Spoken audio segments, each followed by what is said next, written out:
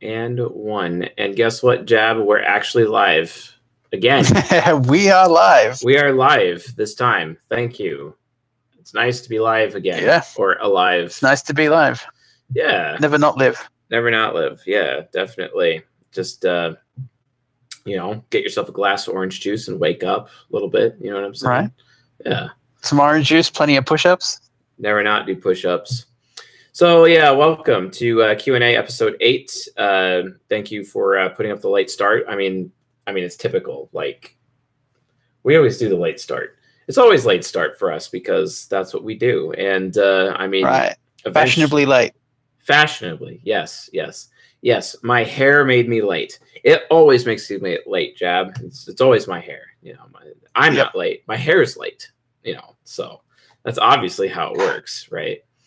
So uh, Chase is actually the male version of the Medusa. Can't see it, but they're secretly snakes. Can't see it. Yeah, never, never not have uh, snakes in your hair. Apparently. So uh, Right. awesome. Uh, glad to uh, see you all uh, joining tonight. I do have a couple announcements before we begin. First and foremost, for those of you who have been waiting, waiting on uh, like when the book list is uh, posted on the website, it's there now. Yes, you can go to csjoseph.life and click on books. Just when you get on the books page, scroll down. Uh, the picture that it's like right in your face, ignore that and just scroll down, and then you'll see books. And uh, I also will have posted all of the books that I am currently reading. So if you want to read books uh, that I am reading, uh, definitely uh, get involved with that. I'm actually going to be doing a lecture every now and then, doing reviews on some of the books that I, I am reading. Uh, and if you would like to uh, join me uh, for that lecture, for those reviews, you let me know. Uh, the reason why I'm trying to do some reviews is because I really want to uh, offer some uh, advice and some criticism, as well as some psychoanalysis, uh, specifically relating to the authors and what it is they're talking about, and what types would actually benefit more or let or less from the material being presented.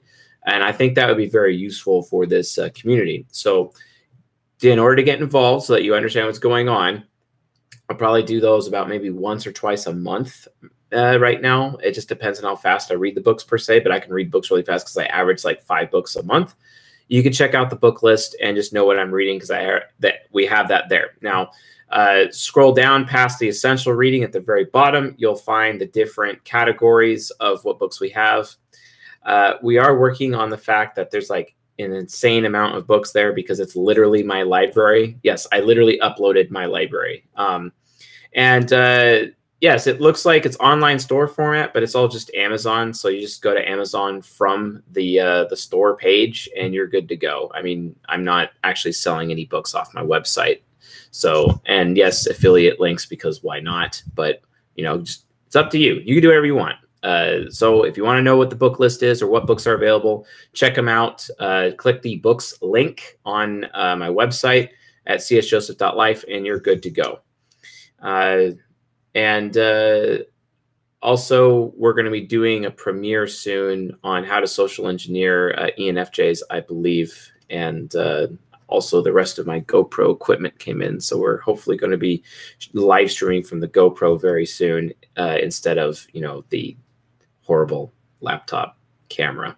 There we go. 1080p inbound. 1080p. It's like, wait a not, minute. not this, Where, not, where, not where's this potato camera you currently got. yeah, yeah, the potato camera. It's like, yeah, yeah, very, very fishbowl approach. At least the sound isn't as bad as it was before, but uh, uh, Yep.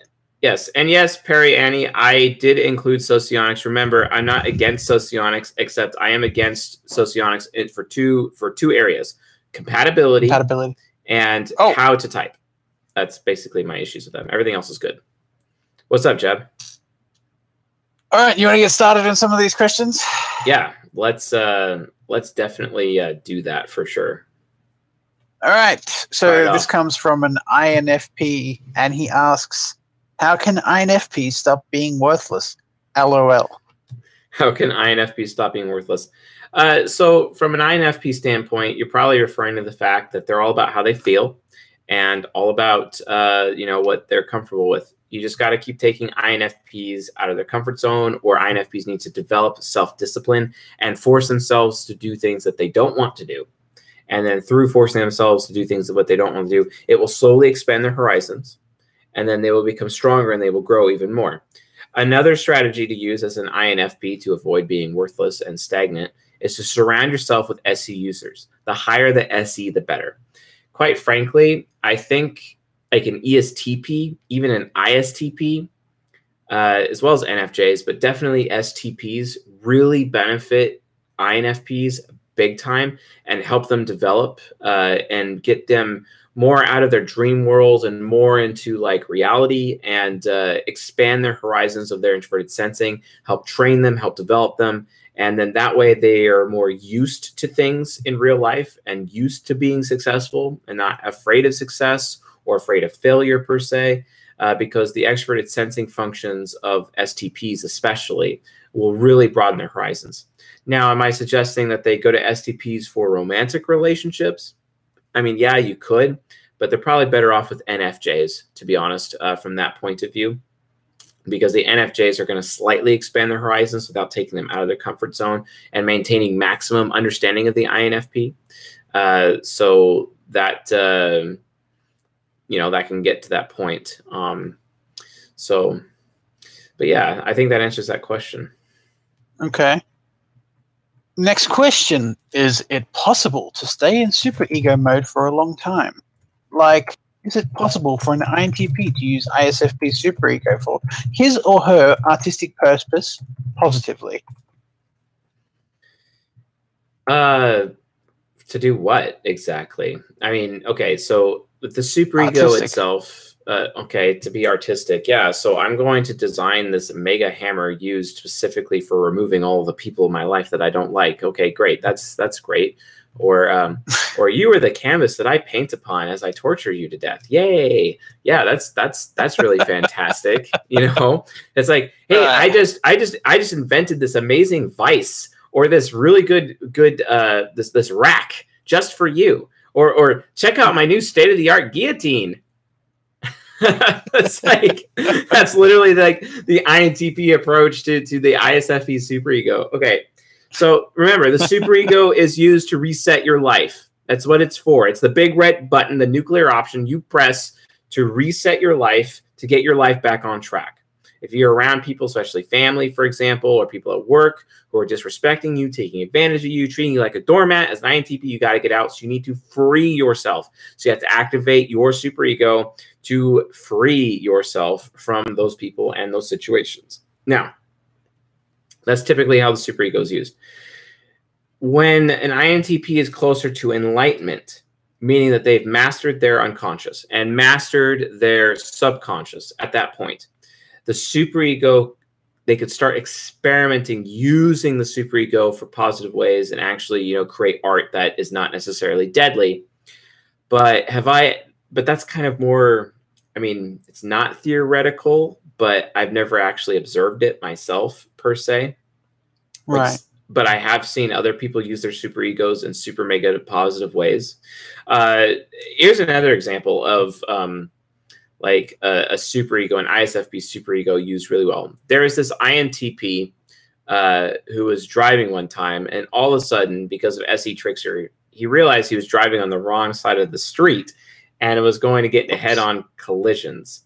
And his reaction time went like super mega SE Trickster, ISFP, uh, FI Demon, ISFP, like, like, the road became his canvas. And it was the most beautiful thing you've ever seen to see this guy just weave through traffic as he's driving and uh, like head on with you know other people. And they're like freaking out. And he just has full control over this uh over this road and he makes it to safety without hurting anyone especially like you know himself. Uh it was amazing to see. And that's just it just goes to show you when you get that adrenaline rush you can actually it can actually throw you into your super ego and use it for like those few seconds. Um, this is something i haven't really talked much about before but when you go like when you get an adrenaline rush we're talking we talk a lot about mind altering substances right? Putting you into different sides of your mind right? But an adrenaline rush specifically actually has the ability to throw you immediately into your superego, to use the powers of your demon parasite side of your mind, your superego, to actually handle a quick situation, right? Or or to cause you to brace yourself. Like so, for example, um, you know, uh, a really high, um, gosh, I want to say like, yeah, like so for for me, right? Let's say like. Uh, a building is going to explode and I'm in it and there's like fire everywhere, like I'm I have normalcy bias because I'm an SI user and I'm not going to react to it very quick. But if there's a situation that I could see happening before it does, and then it does, and I just go boom, I'm in an adrenaline rush. I go to my ESFP mode. I have super fast reaction time, and I can make quick decisions to get out, plot a course, and then somehow meander my way through the dangerous situation hopefully my introverted sensing is not in the way. But if it's not in the way as a result of getting that adrenaline rush, it can actually push me into my superego and use it in an emergency situation to basically save my life or potentially someone else's life, depending on the kind of superego. So you got to think about it in that direction. Uh, mm-hmm. So yeah, that's a that's a, a, different topic that we haven't talked about. But again, we're going to get to substances in the near future. Uh, I got a bunch mm-hmm. of lecture series coming out, so we'll be talking more about that in depth. Okay. Now, this next question is from an INTP. While INTPs are a rare type, there are so many on this Discord and on the internet in general. Would it be a combination of mistyping and the internet being a place where INTPs are comfortable? What types are the most commonly mistyped? And is it related to having a weaker introverted feeling? What kind of INTPs are mistyped and so, so no no no no no. So why are there so many INTPs on your Discord and the internet in general? Is it because of mistyping, or is it because the internet is a place where INTPs are comfortable? And which types are most commonly mistyped? So the most common INTP mistypes are actually like they're usually INTJs or they're right. ESFJs or they're ENTPs or they're ENTJs, right? Who take the test and they get the INTP result. That's typically how it goes.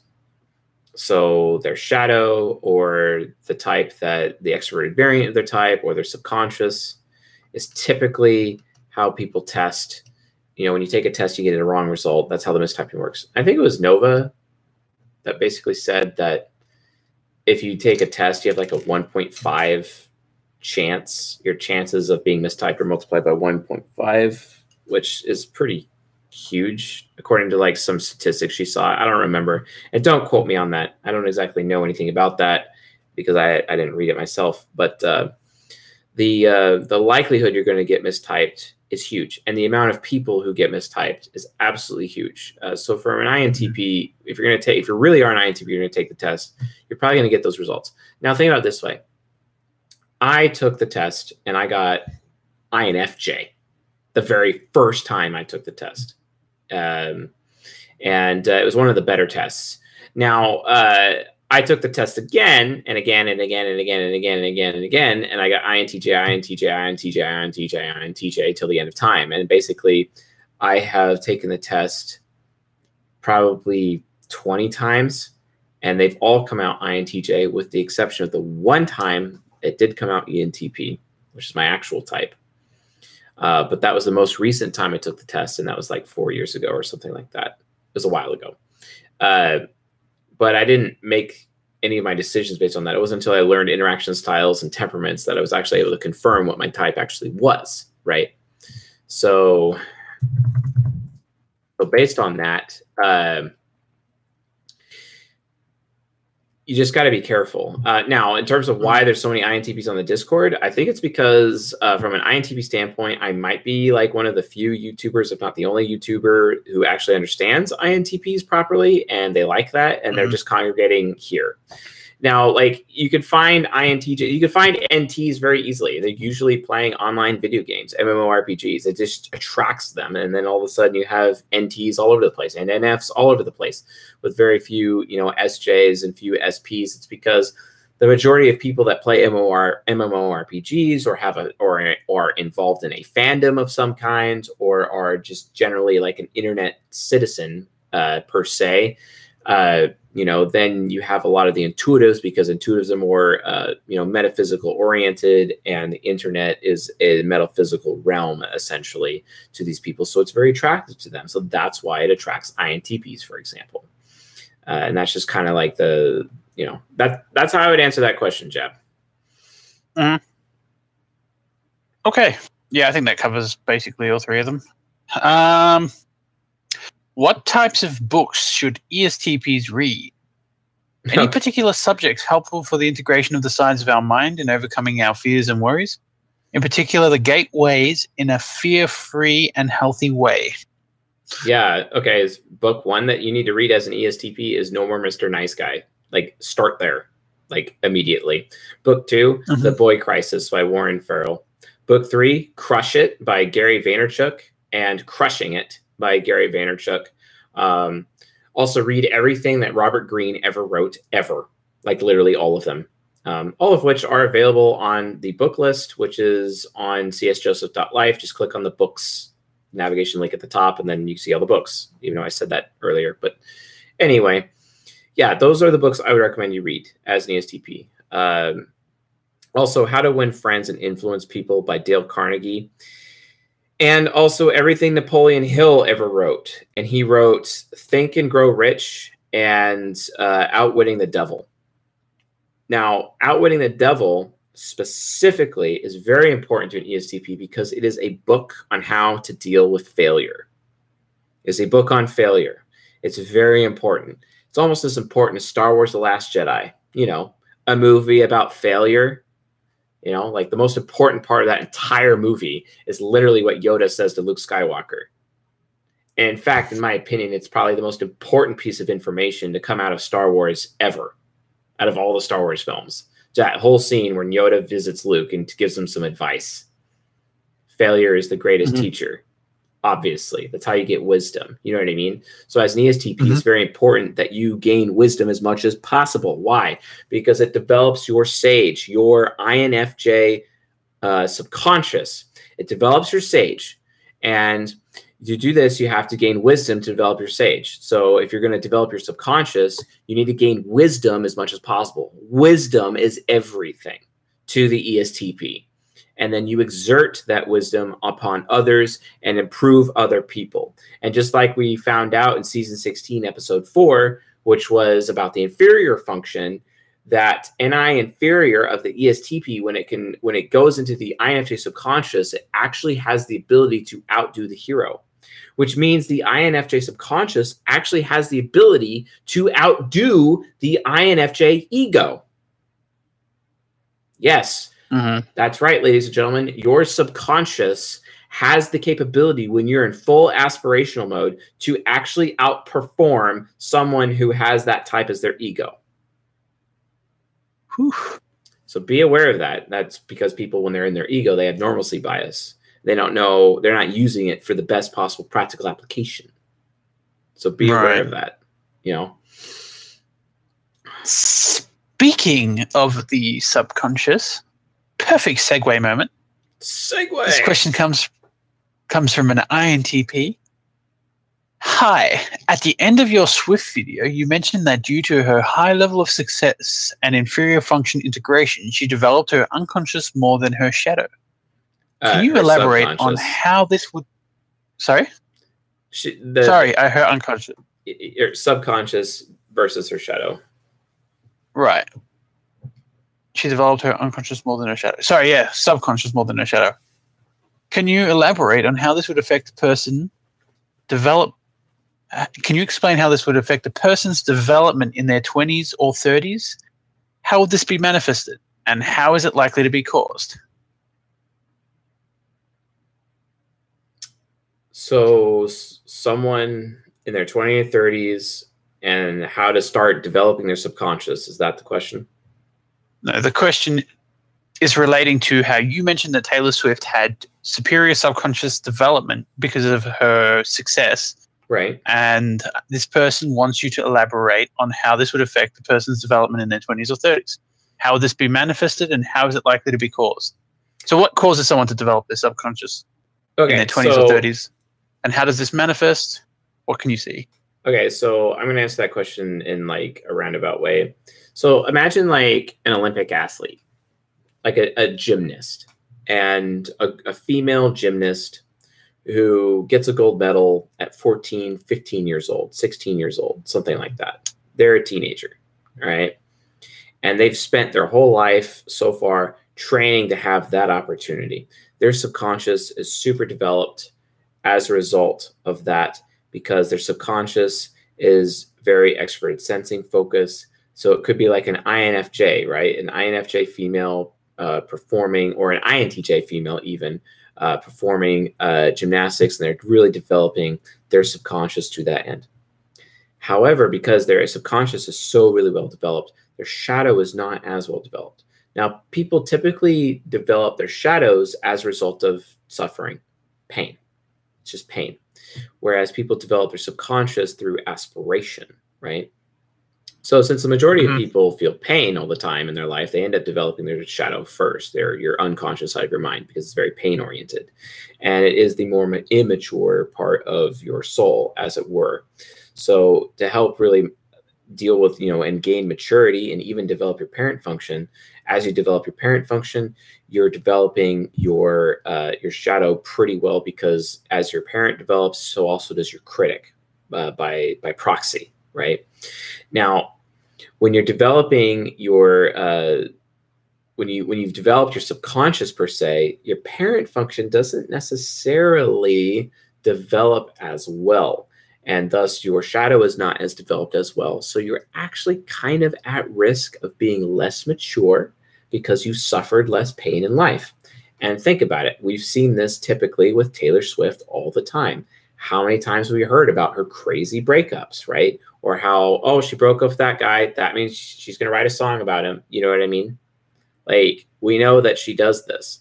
And she does this because her shadow is not really well developed, because she has not felt as much pain as people who do have their shadows developed. But those people who have their shadows developed don't exactly have their subconscious developed as much, right? So you have to kind of pick your poison. The point is, is that you have to develop both. If your shadow is not as developed because your subconscious is super developed at an early age, then you're still going to have to go through life suffering pain and having failures over and over again for you to actually develop your parent function, to be able to develop your critic function, which will, you know, and help you, and then also develop your other functions to get your shadow where it needs to be. Right. Mhm. So it's situations like that uh, that you need to be aware of. So, like Taylor Swift, that's why sh- everyone looks at her and they're like, wow, you're like really immature. There's a reason for that. She hasn't suffered as much pain to be able to develop the maturity that she needs to because she's been so subconscious focused. She's not as shadow focused, right? Like most of us are because we suffer more pain that way. That doesn't mean she's Right. better than us. It doesn't mean that we're inferior to her. It just means we're different. And the battles that we had to fight in childhood are the battles that she has to fight in midlife, basically. And Right. it's just whatever uh, uh, it's just whatever is you know kind of available at that point in time you know everyone's got to develop the sides of their mind eventually you don't have a choice it will happen you have to and in fact if you don't develop your mind will make you develop. It will cause a midlife crisis. And if you further further avoid that you'll develop symptoms of psychosis quite frankly. Because the brain mm-hmm. the mind demands the human soul demands self-actualization. It will get it from you one way or another. Even if Right. it has to destroy your life for you it will get it. So just make sure that so you- going back yeah Yeah. So going back to that point on people who don't have as much pain in their life and they more so develop their subconscious is an extreme example of immaturity with subconscious development. That of say rich kids who are given everything and haven't felt pain and then all their life is success, all their success is handed to them. Paris Is that a good example? much? Nicole Richie much? Right. Like in that reality Exactly. TV show that they had that for some reason my parents enjoyed watching right after Survivor. Oh, those were the days. I mean, is that a good example of immaturity of people who are subconscious focused? Absolutely. Absolutely. Uh, people who have developed their subconscious are typically more immature later in life, but eventually they'll get there. Uh, eventually they get Right. there. Now, you also have to look at it this way uh, look at it from concrete uh, types versus abstract types, sensing versus intuitive. Sensors, they start off having really great athletic success early in age, and then as they get older, they're not even remotely athletic at all. Intuitives, it's the other way around. They're really bad at athletics at an early age, but as they get older, they become really amazing at, at athletics. You see what I'm saying? Because they're developing their sensing based subconscious. So there's a lot of different caveats to uh, type development and cognitive functional development, you know, to be aware of. But uh, but yeah, just understand like the subconscious has really nothing to do with maturity.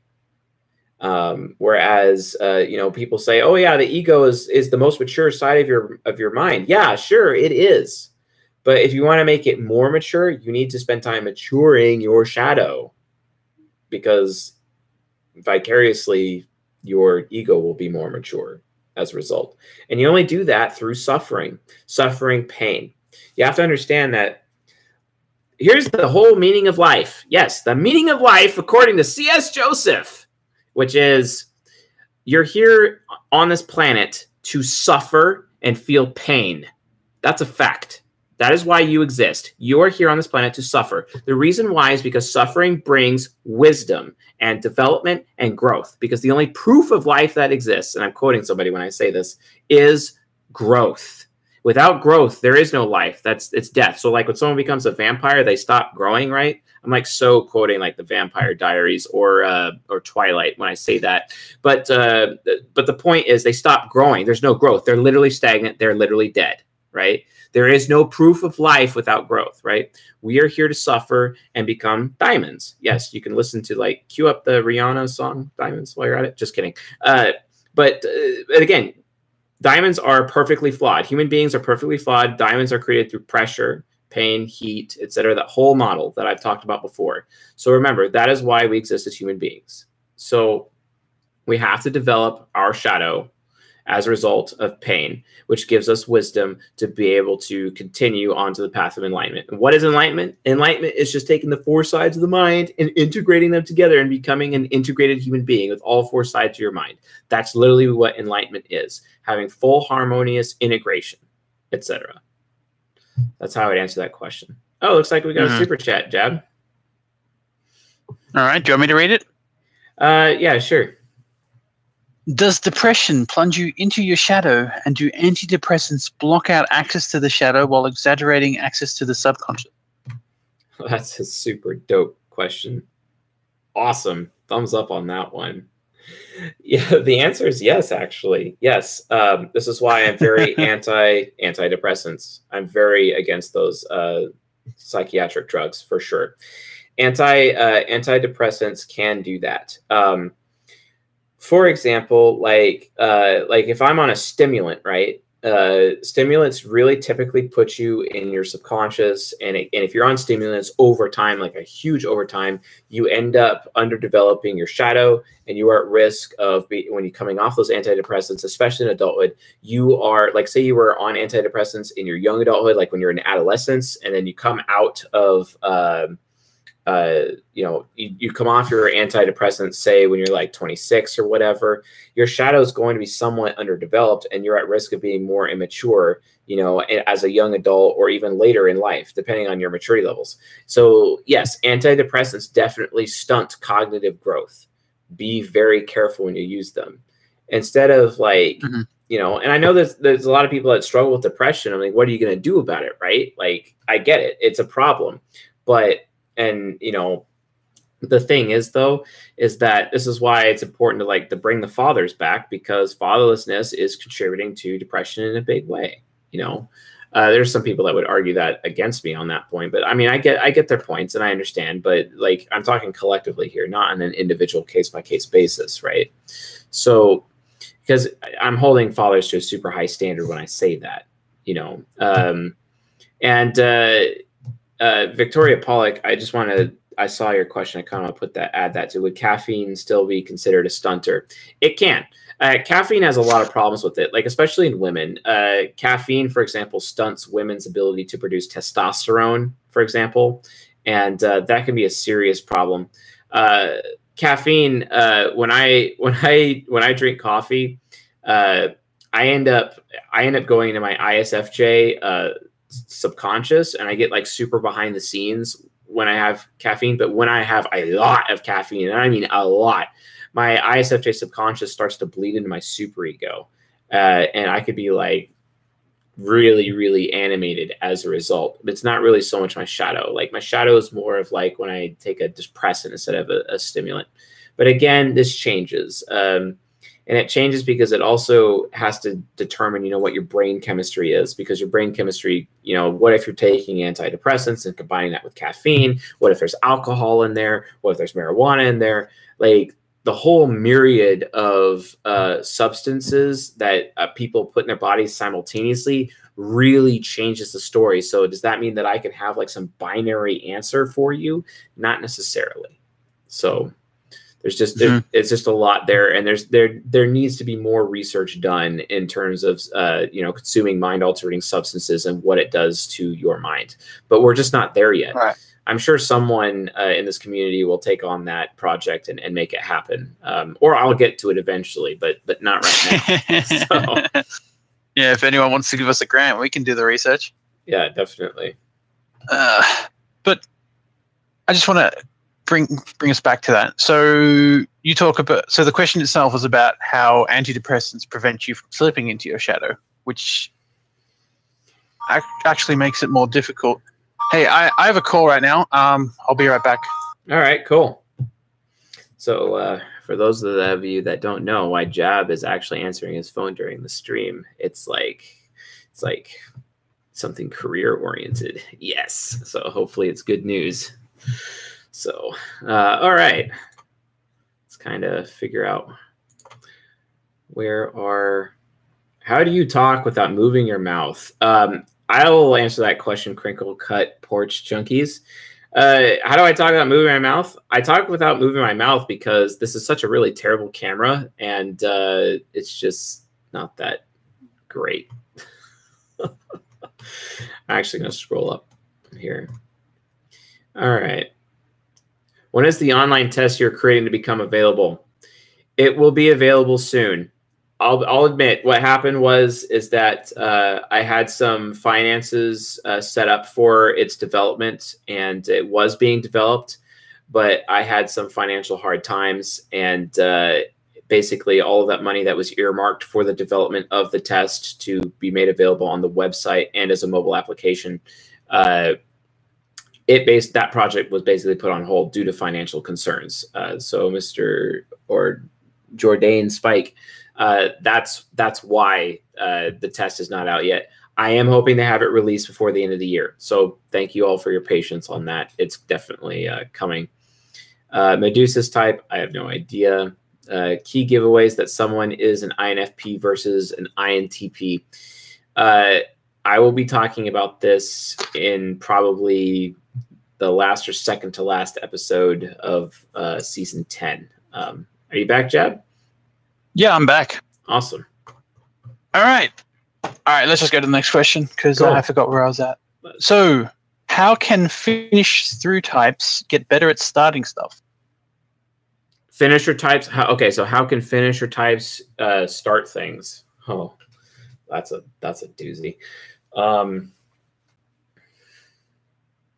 it has to really, really mean something to them. It has to be like an mm-hmm. experiment. Mm-hmm. Uh, something I've noticed about uh, people of direct responding movement interaction style and the way they interact with anything, people or otherwise, is that um, it probably it really has to it has to really really mean something to them or they're trying to figure something out through trial and error uh, there has to be an end goal right and it usually like for example an istp when they're building something right uh, it's usually something that they've been thinking about for a long time, or it's a problem that they're trying to solve. Finisher types, out of all of the types, are very problem solving oriented, more than the in charge types, aka the structure types, more than uh, the background types. Definitely, finishers are very focused on solving problems. So, really, they just have to identify existing problems to solve them. It's especially easy for um, the uh, INTJ and INFJ and the ISTP. The ISTJ doesn't really have to seek problems. The ISTJ is just surrounded by like, ooh, the physical environment, and uh, well, there's problems everywhere. You know, kind of like an ESTJ looks at the physical environment, and then to the ESTJ, it's like, wow, the entire environment is nothing but pure chaos. I must put it into order, right? It's a similar experience with the ISTJ. It's just that to them, they're just so triggered by how their environment makes them so uncomfortable that they have to fix things. And that's generally how finishers actually start things on their own. Now, do I recommend, uh, you know, if they're trying to start something entrepreneurial and whatnot, maybe they need to have a starter type come up to them with a problem or like be like, oh, I have this amazing idea for a business or, or whatever else, you know, but I can't do it by myself. It's a problem. Help me solve this problem and then the finisher type's like, yes, I'm in, and you know, uh, uh, you know, uh, superpowers activate, and then they they they finish the starter's uh, thing and solve that problem. So it, it goes um, it goes pretty good uh, from that point of view. Hmm. All right. Okay, I think that covers it. So let's go on to the next question. Awesome. What are the reasons for future based types like INFJs talking about the past? For example, telling stories of when they were a child. What is the reason? They're usually trying, like an INFJ doing it, they're usually trying to draw an example to try to improve another human being. They're trying to help somebody when they're doing it. I mm-hmm. have suffered so much in the same way you have, but here is how I tried to fix the problem after I realized what I could do about it, and you should do it too. You should do it the way I did it because I was able to get out of it. And I want to tell you how you should do it. Right? That's that's kind of how they go about it. They're usually they're usually telling a story for someone else's benefit or they're telling a story specifically to harm somebody else. But it's always about someone else. They're not really telling a story for their own edification. That's more of an introverted censoring approach. But remember, an INFJ is an extroverted sensor. They're trying to give someone an experience. So they're telling a story. They're literally trying to etch that person's soul, basically, uh, with that story to cause that person to be obligated to change in a positive way. That's basically where it is. Mm-hmm. Right. So it's just basically, I went through something similar to you. Is what you can draw from it. All right. So, next question is which types are the most prone to being attention whores? Great. uh, okay. Um,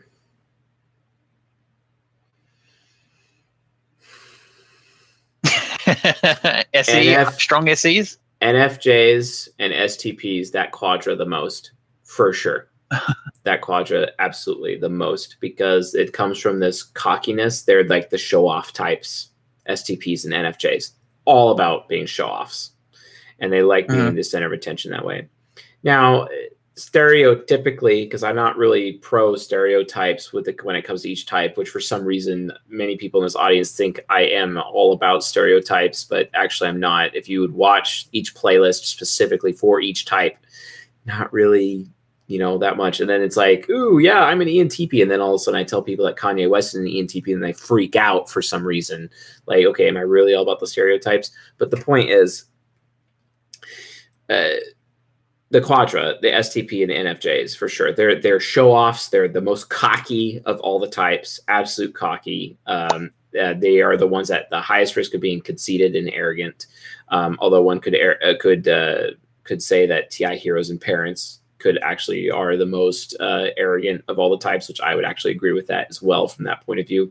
But in but in terms of like getting attention It's from that point. Now the ESFP, everyone's like, oh yeah, the ESFP, you know, they're they're, they're attention whores, you know, like no, they're not actually. They're not. They want to give people a good experience, sure, and they want people to think highly of them, but that doesn't necessarily make them uh, an attention whore or someone who's trying to show off.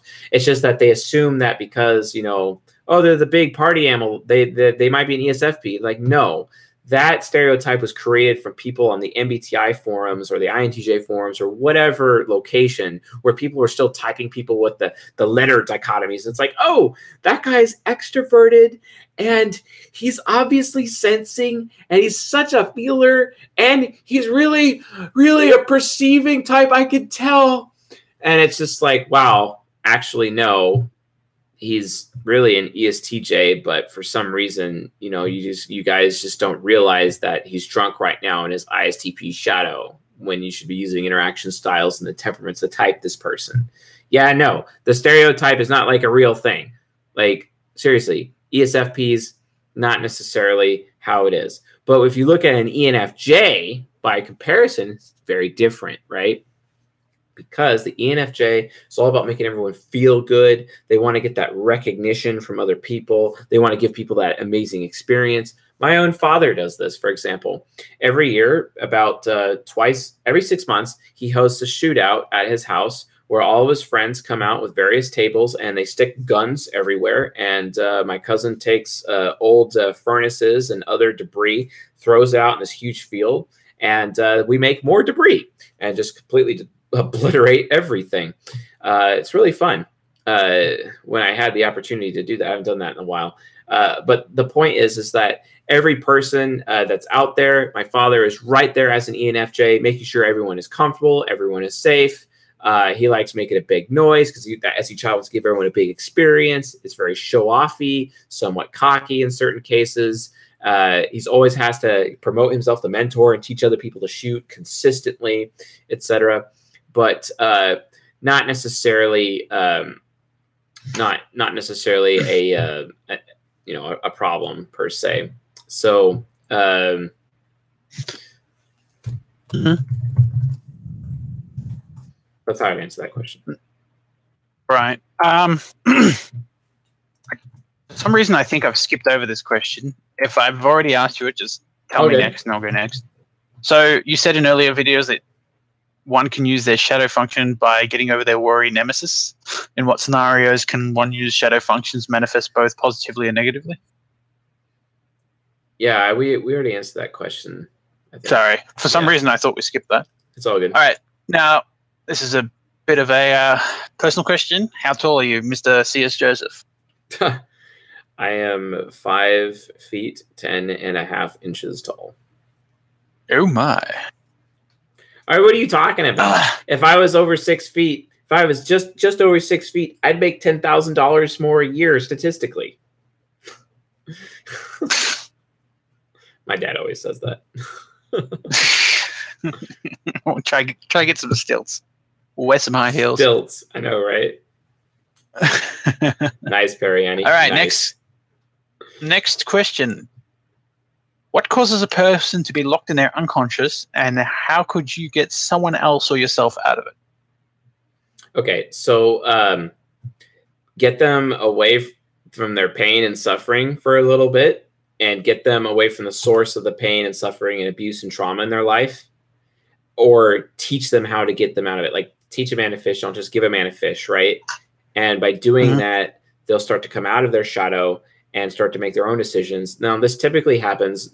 The most common way to do it, uh, because it's the most common issues that it's it's children having problems with their families, and their families are abusive to them.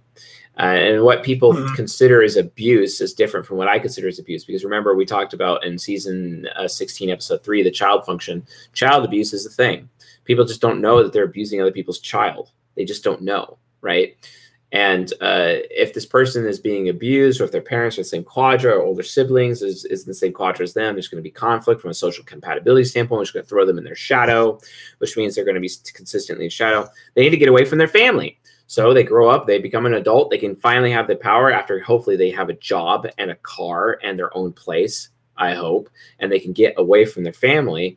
They actually could be their own person right? And at that point that they are their own person, they can actually pull themselves out of their uh, out of their shadow and actually be in their ego for once. That happened to me, except it took till I was 26, which sucked, but it is. Uh, okay. Um, I will take that as the cue to move on to the next question. And I lost where I was on the page. Give me one second. Don't fire me, please. I could just answer a YouTube question for now. Fair enough. That's what I'll do. Scrolling up. Doesn't the Big Five try to use the scientific method? To which I would respond, doesn't the Big Five not to know the difference between uh, nature versus nurture? And as a result of not knowing that difference, it is lacking in value as a trustworthy system. That's kind of Wow. answer that question. yeah, yeah. I wow. I'm not a fan of Hexaco. I'm not a fan of Big Five. I'm just not. Uh, I don't think they adequately uh, uh, map out human nature versus nurture properly in the same way that uh, I have a problem with Enneagram in that same way as well. There's just no real define or definitive way of uh, differentiating the two. So that's just kind of my my concern on that standpoint. Yeah. for sure. Okay. All right. I'm back where I am. Cool. Next question is What is a quick way for a person in conversation to notice if they've been forced into their unslash subconscious? Well, are they afraid or are they worried? That's, I mean, are are they being coerced? Right? If they're being coerced, there's there's a there's that that's it basically. Or am I being Right. coerced? Am I being coerced? But is couldn't you realistically tell if you're being more introverted or more extroverted? Because both the subconscious and shadow are the opposite in terms of extroversion and- and introversion. Wouldn't you be able to see that difference if you really tried to notice it? Kind of. I mean, it, it just depends on how much force is being exerted by the third party or the other person, basically. And through that, Right. uh, be, otherwise, you're just going to bleed into the other sides of your mind, given the situation. Because remember, the ego will try to solve the problem on its own. If it can't solve the problem, it'll go to usually go to the shadow, unless that person is more subconscious developed, and then it will go to the subconscious to try to solve the problem. And then it will go to the Mhm. shadow after that. And if all three of those fail, it will either have to look for help for another human being. Oh, there's no help from other human beings. Time to use the superego. That's basically the Right. entire process. Yeah. All right. This next question Which types are most likely to develop all four sides of the mind the earliest? None. None. It's it's it's each indiv- I mean, everyone's nurture is different. It's an individual basis. Yeah, that's not that's not something we can quantify. Okay.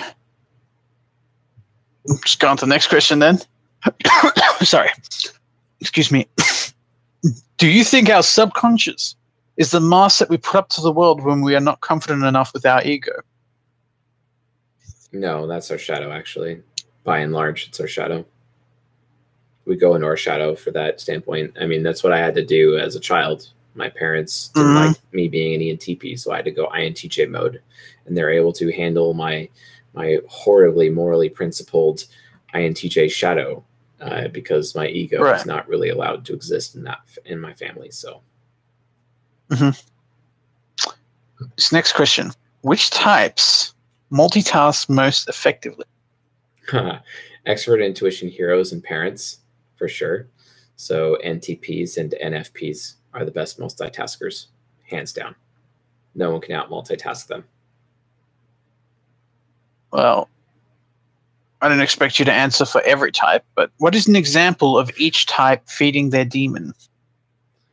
Ah, an example of every type feeding their demon. just give a few. Okay. Um, Or don't even do it by type, just do it by cognitive function. um, that would be like an ENFJ using TE demon and an ESFJ using TE demon together. Um, they would be like super cruel, mocking people, labeling people, things that are untrue, but very clever enough that it hurts them to the core. That's like a TE Mhm. demon. or calling to question someone's intelligence in a very, very provocative and negative way, and is in public and completely dresses them down um, on a whim, almost to the point of being spiteful. Speaking of spite, my SE demon just loves to light things on fire. It loves to um, be as spiteful as possible and just just just walking by someone and making their day absolutely horrible for no reason uh, like i i knew that i had that problem and as an outlet with for se demon i would play online video games and what i would do in mmorpgs back when i was addicted to world of warcraft for example which destroyed my life and i don't recommend that um, all mm-hmm. i would do i wouldn't even go on raids. I wouldn't i wouldn't do anything. All i would do is wait for this stupid quest called dangerously delicious uh, to force people to go to the pvp zone. And i would just hide in the bushes waiting for people to pull out their fishing rods and fish and i would kill them while they're fishing and do it over and over and over again and I would camp them and they'd scream at me and get so angry. And I would do this for hours and hours and hours every single day, collecting their tears as they're complaining about me killing them over and over and over while they're peacefully fishing. and I would be merciless to those people. That's an example of me feeding my demon, right? Torturing okay. people in that horrible way. So just cur- just on my own curiosity, I'm going to hijack this question and make it my own question. What does NI demon look like? Ni demon. Um,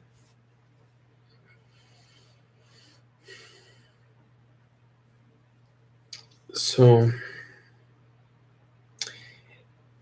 Ni demon just uh, only wants what it wants, and if it wants to screw something over, it's going to. Like it's just that's all it's going to do. Like um, or like oh, you don't want me to have that experience. Oh, I was worried about giving you that experience, so I'm not mm-hmm. going to give you that experience anymore, but I want to anyway, you know? And it's just right. like, it's like having this constant desire to harm fellow human beings for no reason whatsoever. But it's usually from the point of view of being poetic, poetic justice. Right. Poetic justice is everything to an I demon, absolutely everything to it, especially like to an ISTJ poetic justice with that INFJ demon, um, mm-hmm. how they punish their fellow human beings who have harmed them in whatever way, right? It just turns yep. into this like, yeah, it's it's very poetic, uh, meaningful in that way. So, right. I mean, the reason why I was trying to ask that is because I think I've brought it up to you before, but I've been trying to type a character from a certain uh, anime out of my own curiosity based on how interesting they are. And I'm thinking, well, I'm sure you know which one I'm talking about because I think I've spoken about you about him to you before. The character from the uh, the Iron Blooded Orphans Gundam series, Mikazuki. Yeah. I was always thinking, like, is that an E demon? Is that an I demon? Because what he wants seems to be what everyone else wants, but it seems to be blind and and almost like demonic in a sense. Well, uh, blind faith. It really yeah. comes down to blind faith. He's putting his faith into something because it's the only thing that he understands, right? right. His interaction style is still background. So definitely NI Demon, it, it really blinds the faith of the SI hero. This is what causes ISFJs to check their heads at the door, their brains at the door when they're going into church and listening to a preacher from a pulpit tell them how to live their life. And then they enforce everyone else in their life to live by that standard that they've been preached from instead of actually okay. using their TI child and criticizing everything the preacher has said. It's akin to that. Right. Uh, with regards to what Periani said, fictional characters don't experience human organics, so you can't say they're a certain type. That is 3000% correct. However, good writers can still accidentally portray types correctly and some and some writers actually uh, have been trained in Jungian analytical psychology through the use of tropes. And uh, because of archetype tropes, which is based on Jungian analytical psychology, they can actually write specific to type as a result of that uh, method. And I have seen that happen consistently. And in my personal experience, it's just me personally experiencing it, uh, having known a few authors who write fiction, uh, the types that are able to do that the best are the world building types uh, in terms of writing fiction, and those are INTPs and INFPs. Uh, they are very masterful in their ability to do that. The George R. R. Martins of the world, for example. Mm-hmm. So, anyway, enough about me hijacking questions. Let's let's move forward. Well, we got um, uh, we got a uh, super chat, so let's let's read it. What are the first three right. things, tips that come to mind when you think of social engineering INFJs? Can I jumpstart that video? oh no, no, you can't jumpstart that video. no, no. Uh, but I will answer a the question. I'll, I'll, give a little bit. I'll, I'll give a not even bit. some crumbs. Come on, Hansel and Gretel. Okay, okay. You mean Little Red Riding Hood?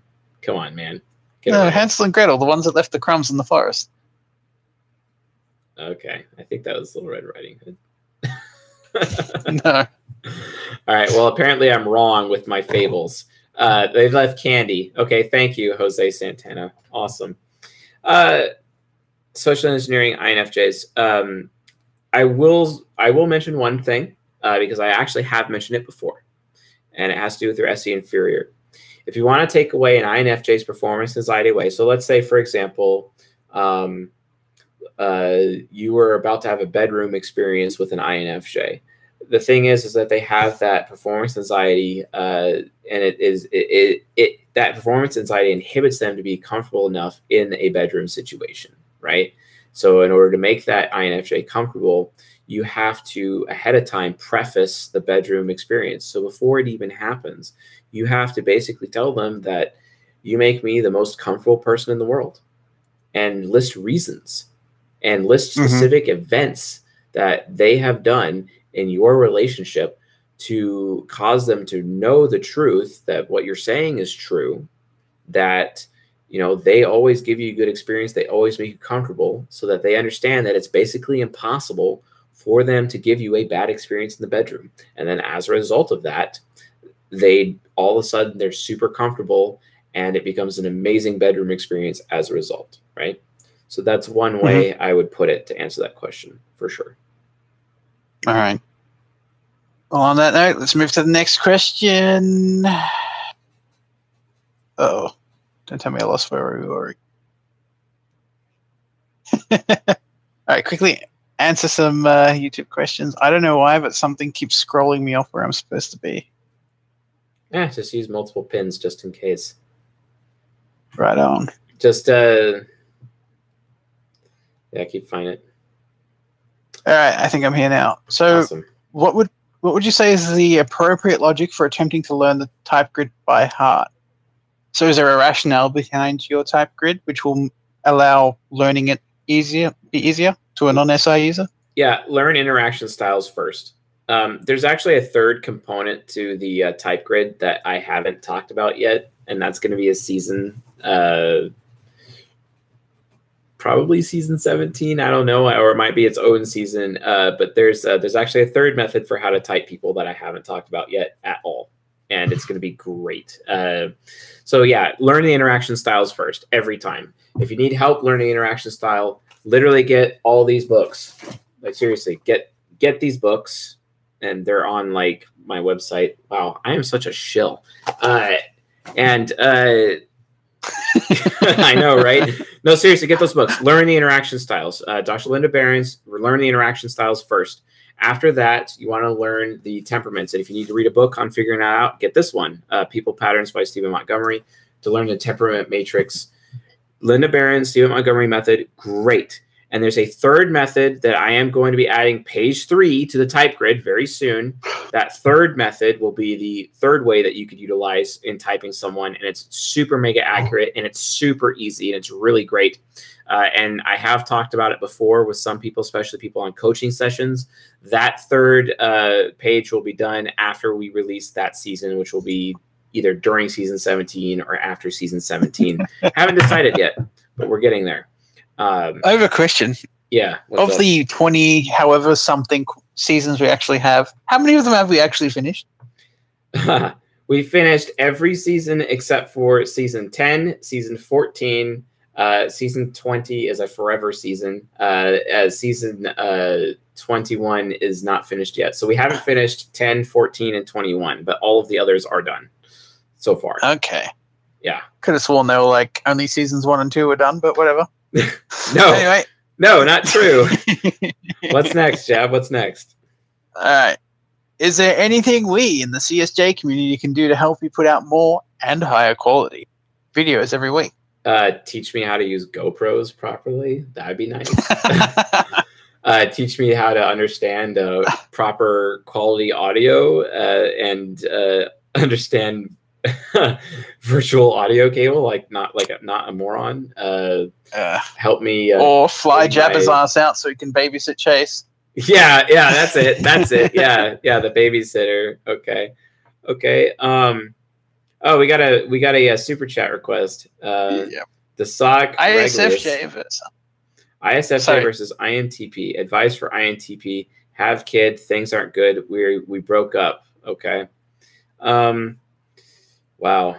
Uh, if you're an INTP, I don't know the specifics of that relationship. So because I don't know the specifics of that, um, are you trying to get back together with the person? Like, what's the goal? Like, I don't, I don't understand what the goal is there. So I was hoping Mr. Uh, Desac Reglius could actually say something in the chat. Please give me some additional context there so I can answer this question properly. He's probably like typing super fast, as fast as I can, you know, or he can. I don't know. What are the, well, maybe we can start off with what the typical problems are in an ISFJ All right. INTP relationship. We'll do that. Strategies for that. Yep, that's that's why I got Jab, you know, to babysit me. okay. Um so to keep a good relationship, uh, honestly, uh, that kind of relationship is not really going to be good because the ISFJ is going to expect the INTP is giving them a good experience at all times. The ISFJ is going to expect the INTP is making them comfortable at all times. I'm sorry, but INTP is making people comfortable. I'm just going to have to burst out in laughter at that. INTPs don't make anyone comfortable. It's not their job to make people comfortable, but it's the number one need of the ISFJ to to be made comfy. But there's nothing about the INTP that makes an ISFJ comfy. Why? Because they have SE Trickster. SE Trickster is not capable of making SI Hero comfortable or feeling safe or feeling secure, right? There's no so basically the INTP then is cursed to keep the ISFJ in a state of fear for the entire relationship. Yeah, that's healthy, right? That's healthy. No, it's not healthy. It's uh, not something I recommend. So, so an INTP basically, I I would not uh, recommend. Uh, um, hold on. Has he responded in chat yet? not really keep Oh, a good there is. relationship basically but um the point is how are you going to make that isfj feel comfortable it's their number one need i mean you it's so hard you have to like focus all of your mental energy everything you have every cognitive function you have specifically to shove out just a teensy amount of se because the intp is so focused on what they want in terms of their experience focusing on their comfort their mind is predisposed to care about their comfort, not the comfort of another human being. I'm sorry. And the ISFJ doesn't need to be made to feel good. The ISFJ is trying to make the INTP feel good all day long, but the INTP doesn't care about how they feel. So explain to me how that's going to be a good thing. Explain to me how that's going to make sense. It's not going to work. It's not a sustainable relationship. I'm I got to be honest you know, if you're in a bad relationship, in a difficult relationship with an actual ISFJ, and there is no mistypes, if there's absolutely no mistypes there, then I would recommend ending that relationship. Why? Well, I remember this INTP who was in a similar situation with an ESFJ, where the ESFJ was like, oh, wow. This ESFJ actually became physically violent with their ISFP shadow and would beat this INTP with a broom on a regular basis. It's a former coworker of mine. It was it was pretty rough. Um, I even have photos of the bruises of him that he wasn't even going to like defend himself, but I took photos of those bruises and uh, we put it, you know, in his file at HR in case we needed those, you know, for whatever legal situation that could come as a result of that, for his own safety, etc. Because he was going maximum doormat mode, like most INTPs do in that situation, being married to an SFJ, right? And the SFJ basically walked all over the guy. And he wouldn't do anything because he was too afraid of leaving the relationship because of what it might do to the children, right? Because that SI child loyalty, right? That got that doormat going, right? Let me tell you something. If you're an INTP and you're in a marriage with an SJ, specifically an SFJ, and you're staying in the marriage for the kids, you are a horrible person. Yes, you are a bad person by doing that. And let me tell Whoa. you why. Let me tell you why. The reason why is because you are teaching your children to make the same mistakes you are doing. You are allowing the SFJ to disrespect you and be and you are becoming a doormat. So you are teaching your children that it is okay to be a doormat. It is better for you as an INTP to basically end the relationship, right? And you know, if you're like if you're like the father of the children in that situation, you know, raise those children without that SFJ in your life because then by the time they come of age, they'll actually like respect you and have self-respect. See, that's more useful instead of staying in the relationship and being a doormat and teaching your children through your example as their father to be a doormat because you're too much of a nice guy right? When you should be reading like No More, Mr. Nice Guy, which was written by an NTP, by the way, by Dr. Robert Glover, and realize that you being nice is only actually causing more damage because there's nothing nice about nice guys. They're not nice, actually. They're manipulative, covert contracting, which is actually very typical of INTPs because their ESFJ subconscious has to covert contract everything, especially when they're in those codependent relationships with SFJs. It's not healthy. So if you are staying in the relationship specifically because of the children, you're harming your children, which is why I get to say you're a bad person. Wow. That's a fact. Stop harming the children. I think that's a bit I think that's a bit extreme. I think. Uh, oh yeah, gotta love that SE demon extreme extremity. But I mean, I'm sorry, TI parent is a fact. I'm I'm not here to make people feel good. I'm here to tell the truth. I'm sorry if people don't like right. it, but it's just it's the way it is. Now, Speaking right. about INTPs, uh, you know, uh, speaking about INTP specifically, when it comes to children, um, by being that example and by bettering yourself, it's better for you to be outside that that relationship. Focus on not being a nice guy.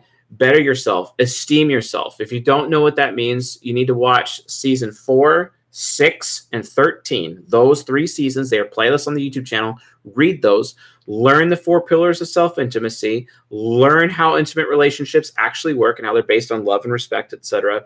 Uh, learn about the the mature genders, uh, the, fem- the mature feminine, the mature masculine, how that actually works, right, mechanically, and then esteem yourself as a man. And then doing so causes respect to happen, uh, you know, by the SFJ, hopefully, you know it's probably not going to. Statistically it's not going to. So you're kind of better off your own and being a better example as a better father as a parent right?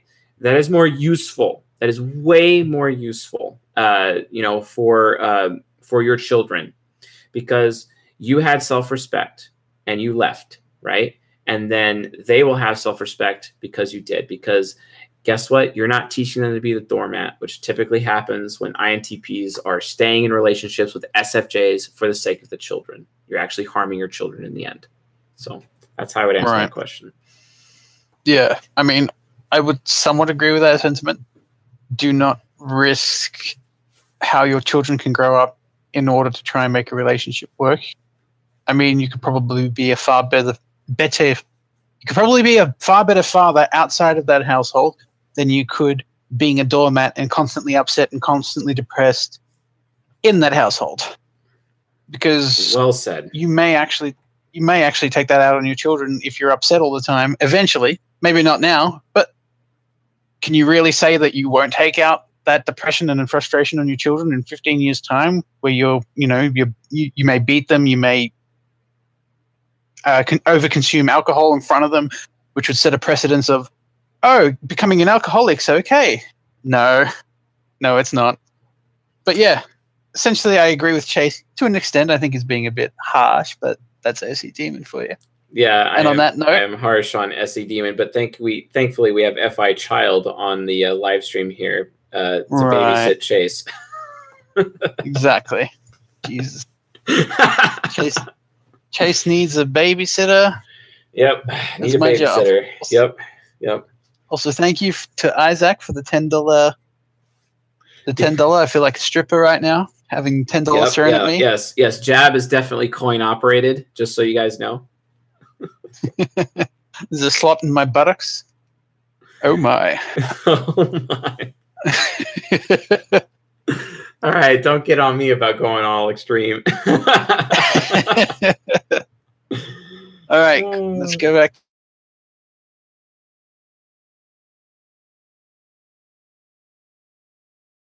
Prone to having anger issues. And before. SE. Uh, yeah, it's SE SE users. Um, uh, it depends.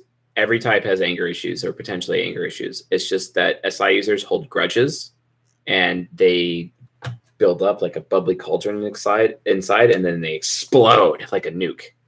Whereas uh, an SE user is when they get angry, it's pretty explosive, but it's a smaller explosion. And it's just a series of small explosions is their anger. Whereas the si user there's like nothing and then all of a sudden at random giant explosion. Boom. That's that's how anger works. And si users are not as forgiving uh, and uh, they hold grudges and they can become vengeful se users not so much SE users don't have as many regrets as SI users do. SI users carry regret with them everywhere they go, every single day. It's something they deal with. SE users not so much Mhm. because they can easily just forget and just because it's not happening right now, it's not real to them right now. Whereas the SI users, those regrets are real to them every moment of every day, right? So how they approach anger is a little bit different, etc. All right, next question. What is the ultimate purpose for FI parent other than needing to feel good? Can you expand on what you discussed in what is the cognitive attitude of the parent function? Okay. Yes, I will admit that I give FI parent a lot of crap. That's what I do, apparently. I give them a lot of crap. But uh,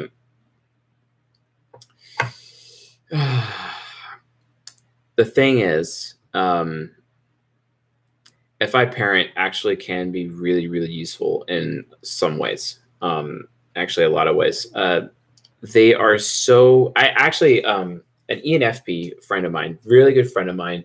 Uh, he's one of the reasons why I'm actually here tonight. Uh, really good, good gentleman. Um, he was selfish and depraved for so long, but he had some really bad things happen to him in his life, including going to federal prison. Uh, and uh, he's not in federal prison anymore. Changed his life, and he's a very charitable human being. One of the most charitable people I've ever met. Uh, I I can't believe how charitable he is, and uh, he's always thinking about other people and being you know going out of his way to be as good as possible. But FI parent, he had this he had this one story um, where he was actually being manipulated, uh, financially manipulated, coerced by his so-called friends at one point in time uh, to give up money for a certain cause or something. And he's like, I don't deserve this. FI parent really is aware of what it deserves more than anyone else. And in fact, it's so well aware of what it deserves um, that other people, like when it looks at what other people with uh, with its FE critic, with the FE critic of the shadow of the ENFP, they're very aware of what other people deserve because they're always keeping score. That's one thing about ENFPs with FI parent; they are always keeping score with people, and because they're keeping score, they're definitely going to be. Uh, you know, again, that little poetic justice of their INFJ shadow, right? Uh, that could be an issue. Uh, so, FI parent, it does know what it deserves. Now, the thing is, though, what it believes it deserves, it's it's still based on a belief. It's not actually a fact. And you and I, Jab, we've been around FI parents who these people have been insanely selfish. They've been trying to take advantage of us. They just believe these random things. They start rumors about us. Uh, they they mm-hmm. destroy mm-hmm. our reputation because they're afraid of their reputation being destroyed. So they know that their reputation being destroyed is the way to hurt them. So they hurt other people through destroying their reputations and spreading rumors and changing the thoughts of other people, manipulating the thoughts. It's literal thought manipulation, right? But FI parent, when mm-hmm. they are mature and it's really well developed, and it's not just them doing NETE or SETE, when FI parent is actually really um, matured, it has this super high, sharp uh, moral principles, these super high principles that has super good, quick decision making in terms of what is a good or a bad thing. And they're able to weigh it out in their head. And FI parent, its most use is being able to have the super precise valuation. They can literally value things properly. Uh, and that especially goes with finance. If you want someone, to, if you want to know if something is really valuable or not, take it to an FI parent. They'll tell you exactly if something is valuable. They they're really good at finance. FI heroes are also insanely good at finance as a result because these people, FI heroes and parents, they know exactly the value of things and they could tell you exactly what the value of things are. TE heroes, TE parents, not as much, actually. So it, it becomes an FI hero and FI parent strength, especially when the, these people are aspiring with TE inferior for the FI heroes, or uh, when when TE child is being directly engaged in a positive way instead of a selfish way. Uh, they really have the ability to just weigh things out in their head, and it's really fascinating and it's super useful. This is one of the reasons why when an ENFP is being charitable with their virtue, from their FI parent, you know that they are being literally the best of us. They can be the worst of us with their insane selfishness, but they actually have the capacity to, be, to literally be the best of us because no one can out charitable them. No one can outgive them. And when they're giving, they're giving properly because they understand the exact value of things and they know the value of what they're giving, right? A great example of this would be Gary Vaynerchuk probably the most advanced ENFP I've ever met. His FI parent is super mega developed. Uh, his moral standard is something that I can't even like. Wow, it's it's unbelievable his moral standard. Yeah, he's got a mouth on him, but his moral standard really goes beyond that. And He understands the real value of things, and as an FI trickster, I've had the opportunity to learn from his FI parent and try to kind of engage you know the value of things properly especially when it comes to my relationship with this audience right? Uh, it, it, it's super it's super important. Um, so so yeah that that is the that is the true value of fi parent. That is its true uh, uh, abilities of what it can do. Um, its, its value system is kind of second to none because it's the highest function that's pessimistic right uh, they really know they actually know the value of things but remember because you know with great power comes great responsibility. So because they know the true value of things, when they're trying to shyst you, that means they're way more responsible than anyone else because they really know what value they're actually giving you. They really know deep down in their heart if they are screwing you or not, even though they would claim that they don't because TE, TE child, etc. Hmm. Hmm. Cool. Uh, right, just, uh, just, just a few more minutes, and we're uh, we're gonna be closing up. So let's keep going. We reckon two more, three more, two or three more. Yeah, one more. Yeah, right. So, do you have any advice on how an INFP can limit the high need and crave for status in himself and others, if it's having a negative impact on life other than actually trying to acquire it, which seems like a never-ending ladder? I don't think they should eliminate that need at all. It is a very valid need to be popular and regarded by and respected by other human beings so they can feel good about themselves. I think they should seek to fulfill that need, just not in a negative way, in a positive way. And they do this through contributing. And mm. seriously do it through contributing. I it's going to sound weird, but I have the hardest time convincing INFPs to do volunteer work. It's the weirdest thing to me but I, I've coached a lot of uh, INFPs, uh, and they're like they they they always ask me, okay, well, how can I get an NFJ man? How can I get uh you know, you know what I mean? And it's usually INFP women that I'm coaching and they always ask me, how do I get an NF, NFJ husband? And I'm like, this is how you do it. Volunteer work. You go volunteer because it's usually the the organization or the or whoever's running the event for the volunteer work itself. It's ran by an NFJ man. Typically, it almost always is ran by an NFJ man, and they'll see the INFP and they'll just be drawn to her. You know what I mean? But convincing yeah. them to actually do that, it's so hard. But if they really want people to think highly of them, they have to learn to give. Give and it shall be given to you. I'm sounding churchy now when I talk about the law of the harvest. Ooh, voodoo, right? But uh, right. But it's it, that's that principle. It's a principle. It's an FI principle. Given it shall be given to you. That is an FI principle, and no one understands it better than NFPs. Uh, ISFPs and ESFPs not as much because they're so focused on what's happening right now. But when it comes to SFPs, all they have to do is just build stuff for other people, make things, make things for other people, or or contribute, give other people a good experience, make art, or give them or entertain them or something like that. Give them a good experience. Whereas the NFPs, they just need to give, right? And that's it. That's that's how they get people to think highly of them and in a healthy way. Just give back. Just give, right? Give their deepest gift. This is why David Deida wrote The Way of the Superior Man. He talks about people giving away their deepest gift. If you have not read that book yet, read that book, The Way of the Superior Man. It's on the book list on, on csjoseph.life. Uh, there's a books link. Uh, you can find all the, the books there. Um, I'm a shill. Uh, but anyway, you know, like it's that's that's how I would uh, answer that question. You know, um, yeah. Right. Okay. Next question is Are ISTPs or ESTPs less self aware? And in brackets, taking into account reflection, social awareness, and impact on others? Yes. Yes. The answer is yes. Yes. They are they are less self aware. Yes. In fact, they're probably the least self aware of all the types. Yes absolutely. The reason is because they don't have introverted sensing in their top four and they don't have FI in the top four.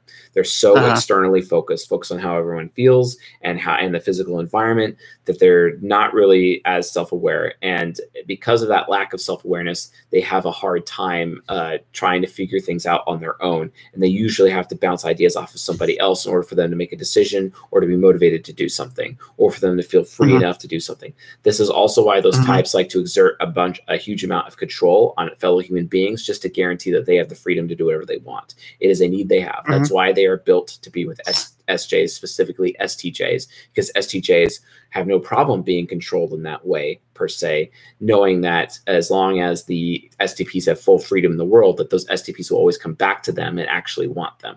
Because all an STJ wants is to be wanted. They just want to be desired. And they know that, hey, you can have all the freedom in the world as long as you freely choose to desire me, I'm cool.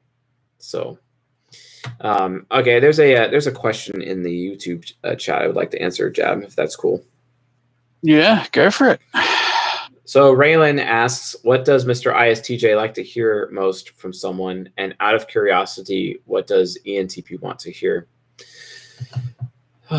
so, uh, what does Mr. ISTJ like to hear from someone else? They want to hear. Um, they want to hear this. I think highly of you because of XYZ reasons.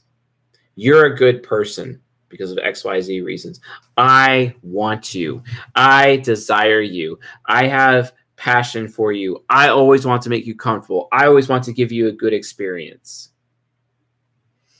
I always want you to be mm-hmm. safe. Mm-hmm. I want you to always feel secure. I want you you know, I appreciate all of your hard work into making this house as comfortable as possible. Thank you for cleaning. Thank you for being clean. Thank you for being well dressed. You know, those types of things. That's right. what I would say. To an ENTP, uh, to an ENTP, uh, I would say um, um, first and foremost, ENTPs like the top needs of the ENTP. The first need that they need is to be trusted, because ENTPs oh. have this problem uh, where they just look untrustworthy, so people just don't trust them, and they're judged by like a book on its cover. Their second need is uh, to be met is um, um, to be understood because no one really understands ENTPs. They don't, and people that actually try and do are insanely rare. And because of that, they feel very alone. And because of that, they go in their ISFJ, subconscious and social situations, and look like they're introverted, even though they're not. Right. Uh, and it's this interesting uh, dichotomy. Uh, always tell the ENTP that you want them, that you desire them, that you have passion for them. ENTPs need to hear because that because ENTPs always want to be wanted, right? Always ask ENTPs what they think on literally everything because ENTPs will tell you the truth, even if you don't like to hear it. Kind of like me spazzing out earlier about INTPs with SFJs and children, etc. Right? Spaz out, uh, tell them the truth. Always tell the ENTP that you value them. Always tell them that you value your ENTP, uh, and and prove it give them recognition. They actually deserve recognition because they're constantly thinking about you at all times, especially in a relationship with them. Uh, oh my! About your well-being. Yes, Jab. You and I, you know, Hawaii, you know, some champagne, call it good, right? Uh, my babysitter. Uh, and then uh, also seek to make your ENTP as comfortable as possible, but also every now and then make your ENTP uncomfortable if they're growing stagnant. Sometimes they just kind of need to get, you know, their head in the right direction and off their butt so that they actually produce, etc. And uh, yes, thank you, Periani. I appreciate that very much. Um, so yes, yeah. See, that was like my FE child getting lit up for y'all right now. That's literally what happened. Gotta love that fi parent. Mm-hmm. um, so uh, great. Um, yeah, so that's how I'd answer that question. Uh, what's what's next, Jab? Let's do a one, one or two more. All right. This question is 85. Well, this is from a while ago when you had 8,500 subscribers, but it's 8,500 subscribers predicting 10,000 by Thanksgiving. When is the book coming out? Uh, the book will be coming out probably Q1 next year. Next. uh, next.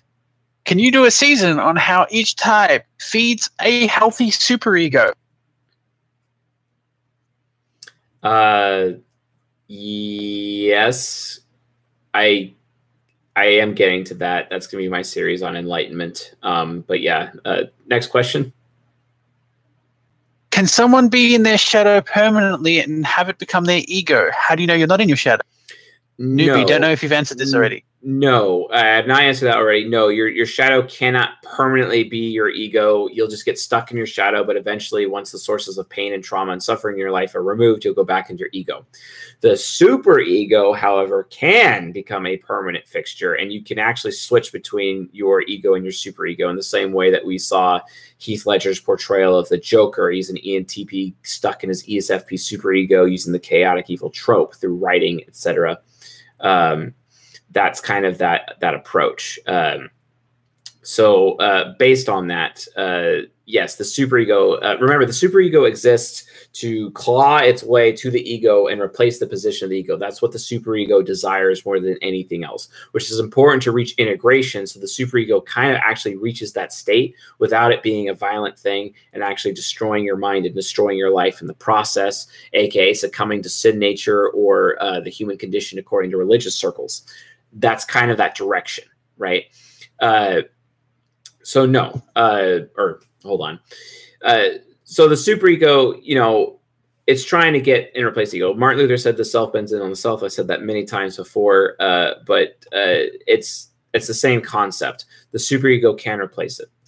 Now we have seen in like car injuries, people switch to different areas in the quadra that they're in. We have seen that and like they come out like a different personality but that's like super crazy trauma and we don't exactly know how that works but i'm going to be exploring that a little bit more in season 17 which is coming out very soon uh, and we'll be talking about that more in depth so all right jab um, i got um, um, uh, Rising Tides question says, uh, so I guess we INTPs have to study lots of philosophies and understand what we value. The answer to that question is no, but that would it would be a yes question for INFPs for sure.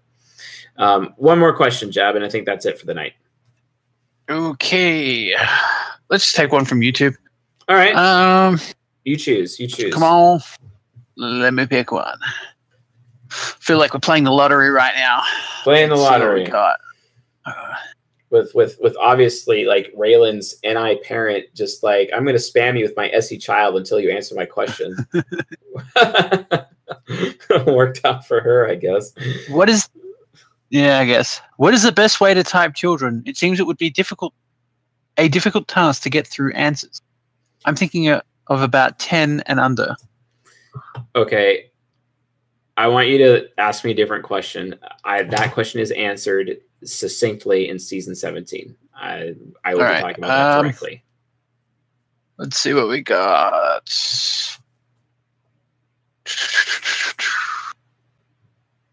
Uh, it's a mess. Who cares? Which, I'm going to which type is most likely to have trust issues? Athens. Let's do that one. Which All type right. is most likely to have trust Um, issues? What do you think, Jeff? critic? Yeah, yeah. NJs, yes, NJs are the types most likely to have trust issues. Yes, NJs. And the reason why extroverted sensing child from ENTJs and ENFJs and extroverted sensing inferior from INTJs and INFJs need loyalty more than anything. And INJs, specifically more than anyone else, crave and absolutely have to have loyalty in order to function in life, especially in close relationships, intimate relationships. It is required for them. So without the loyalty that they need for their SE inferiors, they're just like, you know, so because of that, they have trust issues with people because they're constantly trying to figure out who's loyal to them and who's not. And they're at risk of jumping to conclusions using their expert intuition nemesis or the critic for ENJs and jump to conclusions that uh, you know their partner or the people close to them or their closest friends are valuing other people more than they are, and that and if they don't they don't like uh, being you know betrayed, especially when usually INJs and ENJs NJs in general work so hard to give these people you know SI users a really good experience so that those people's souls are etched and those people always remember them and never forget them. It is the greatest fear of an INTJ and an INFJ, for example, that they would be abandoned or that someone would betray them, even worse, or that they would be forgotten. Is their greatest fear. They don't want to be forgotten, right? So, because of that, you got to be aware of that. It's a need of them. And what that does is it creates potential trust issues. And that's where you get NJ paranoia from, with the INTJ being the worst, which is why it's the INTJ vice, even though they all have a paranoia uh, issue. But it's worst with INTJs, right? And it comes from extrovert intuition nemesis combined with extroverted sensing inferior, right? Which we'll talk more about in season 16, episode five. So, all right, Jab. I think uh, I think that does it. Yeah. Well, on that note, thanks for all for coming. Is there any reason that my comments are getting? I didn't notice that. Your comments? Um, yeah. Th- thanks for that. Thanks for coming. Had fun. Again next week. Uh, we got enough questions for next week, uh, Thursday. Yeah, yeah. Um, okay, so as we close the episode, just remember, uh, folks, uh, if you want to get your questions in, I know we got a bunch of questions on YouTube. Uh, we we read off the questions from the Discord server. So if you want to get on the Discord server, go to any of the lectures on the YouTube, click the link, the Discord link, okay, and you can get on Discord, and then you find the Q and A channel in our Discord server and put your question in there, and that's where we're reading off the questions, okay.